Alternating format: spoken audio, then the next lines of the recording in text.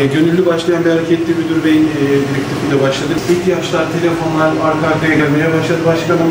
E, kendi imkanlarımızla yapmaya başladık, üretmeye başladık hocalarımızla beraber. Gönüllü, bilişimci arkadaşlarımız var, okul müdürlerimiz var. Kendi yazıcılarıyla e, onlar da getiriyorlar bize bir araya topluyoruz burada. E, ama ham madde eksiğimiz vardı bu alanda. E, teşekkür ederiz bir kez daha. Dün akşam WhatsApp yazışmalarının sonucunda başkan yani hızlı geçtik Allah, Allah razı olsun. Ülke olarak gerçekten zor bir süreçten geçiyoruz.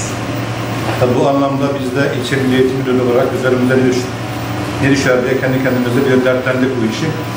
Dolayısıyla eee, şu an ülkemiz gerçekten bütün dünya başta olmak üzere ülkemizde eee, bir koronavirüs salgınıyla baş başa. Bu anlamda eee, önce Rabbim tabii ülkemize ve bütün dünya milletlerine bu illetten en kısa zamanda kurtulmayı nasip eylesin.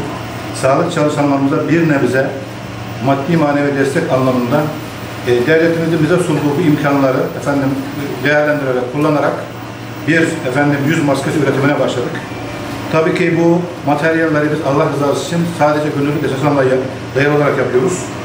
Bunun içinde öznesi altı yıl olan hele hele özelinde de öznesi eğitim alan bir husus ortaya çıkınca belediyemizin 6 yıldan bu tarafa verdiği destek gerçekten çok önemli.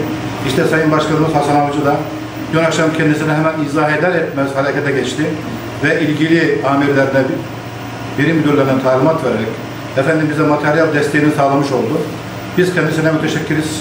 İnşallah bu elde edilen materyallerle efendim öncelikle Balıkesir'imizdeki hatta diğer vilayetlerdeki sağlık çalışanlarımızın yüz maskesi ihtiyacını karşılamış olacağız. Ee, ben tabii burada çalışan arkadaşlarımıza da çok müteşekkirim. Çünkü onlar bizi harekete geçirdiler. Biz zaten bu tip atölyeleri efendim kurup daha sonra atıl olarak kalmasını istemiyoruz. İşte bakın öğrencimiz yok şu an, öğretmenimiz yok. Ancak Rabbim bize böyle bir şeyi nasip etti. 17 tane e, efendim üç boyutlu yazımızla şu anda durdurak bilmeden Sayın Başkanımızın da materyal desteğiyle üretim yapıyoruz. İnşallah Allah arkadaşlarımızın emeğini zayi etmesin. Rabbim en kısa zamanda bu illetten bütün dünya milletlerini başta olmak üzere ülkemizi de kurtarsın ve sağlık çalışanlarımıza güç kuvvet versin.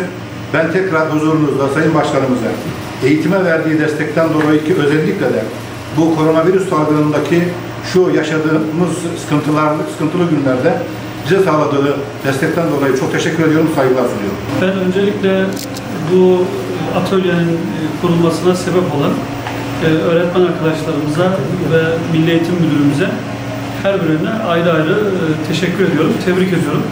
Gerçekten burada çocuklarımızın yetişmesine çok ciddi katkı sunacak, çocuklarımızı geleceğe ciddi manada yetiştirecek güzel bir alanı ilçemize, altı Eylül'ümüze kazandırmışlar. Tabii bir diğer tebrik edeceğim önemli konulardan birisi de bu millet gerçekten çok farklı bir millet.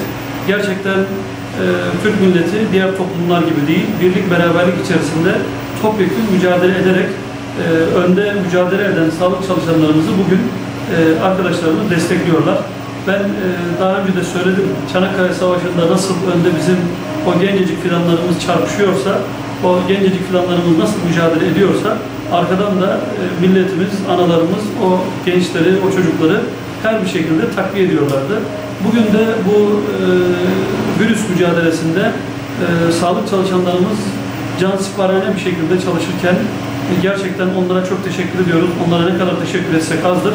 Çalışırken e, bizler de e, vatandaşlar olarak e, sağlık çalışanlarımızın arkasını nasıl doldurabiliriz? Vatandaşlarımızı bu konuda nasıl rahatlattırabiliriz? Yoğun bir çalışma içerisindeyiz. Belediye olarak bizler tabii dezenfekteden e, vatandaşımızın ihtiyaçlarının cevabına kadar çalışmaya e, gayret ediyoruz. Tabii dün akşam e, müdür bey e, bana bunu bildirdiğinde beni gerçekten çok etkiledi, çok mutlu oldum. Bugün geldiğimde, atölyeyi gördüğümde bu arkadaşlarımızın gerçekten idealist insanlarımızın bu konudaki çalışmaları bizi ayrı ayrı mutlu etti. İşte içeride Karamanköy'den bir hocamız bile vazifesi olmadığı halde bırakmış gelmiş aynı şekilde sizlerle beraber çalışıyor. Gerçekten bu bizi mutlu etti. Çünkü şu an sağlık çalışanlarımızın e, ciddi manada ihtiyacı olduğu yüz maskesini burada e, Altayım İlçe Milli Eğitim bünyesinde oluşturulan atölyede sizlerin öncülüğünde yapmış oluyorsunuz. E, zannediyorum 100 tane Yenişehir Hastanesi'ne, 30 tane de şu an e, devlet hastanemize e, sipariş almışsınız. Biz de e, bu konuda Çamsakız'ın çoban armağan cihetinden üstümüze düşeni yapmaya çalışıyoruz. İnşallah bundan sonra da yaptığınız bu tarz çalışmalarda elimizden geldiğince her zaman arkanızda olmaya çalışacağız. Ben e, tekrar sizleri tebrik ediyorum. E, İnşallah e, bu süreci birlikte başaracağız. E, Vatandaşımızın bu konuda daha hassas, kendini koruması e, buradan kendi korunmasını e, talep ediyorum. Vatandaşımıza buradan bu çağrıyı yapıyorum. Ama diğer taraftan da işte Milli Eğitim Camiamızda, Sağlık Camiamızda, belediyelerimizde, e, polisimizde, jandarmamızda ama topyekun bir mücadele içerisinde e, sağlık çalışanlarımızın bu konuda takviye ederek inşallah bu birliktelikle bu mücadeleyi hep birlikte başaracağımıza inanıyorum. Buradan e, vatandaşlarımıza tekrar tekrar bunu söylemekte fayda var. Evde kalmak yaşanacak diğer sıkıntılardan çok çok daha evladır. Evimize, çoluğumuza, çocuğumuza zaman ayırmaya çalışmamız lazım.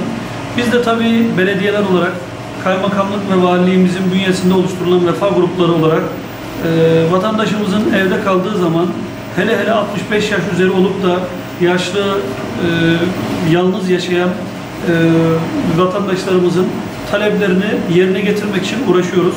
O vatandaşlarımız yeter ki dışarıya çıkmasınlar. Dışarıda biz onların elleri, ayakları, gören e, gözleri olacağız. Bu süreci ne kadar evde kalırsak, ne kadar çoluğumuza, çocuğumuza zaman ayırırsak, bu süreci kendimize zaman ayırırsak, inşallah sadece kendimiz bu illetten değil, milletimiz, memleketimiz de bu illetten kurtulmuş olacak. Bu konuda hassasiyetin olduğunu vatandaşımız tarafından biliyorum, görüyoruz. Ama e, bu hassasiyetin biraz daha artmasını bekliyoruz. Bu hassasiyetinin biraz daha özveriyle olmasını bekliyoruz. Vatandaşımızdan istirham ediyoruz. Ne olur evde kalsınlar, ne olur aileleriyle beraber vakit geçirsinler ve e, onlar bu hassasiyeti gösterdikleri süre içerisinde de inşallah biz de kazasız belasız bu süreçten alnımızın akıyla çıkacağız.